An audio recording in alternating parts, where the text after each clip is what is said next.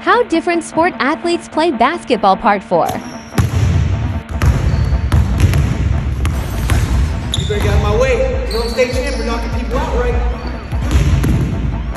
I warned you!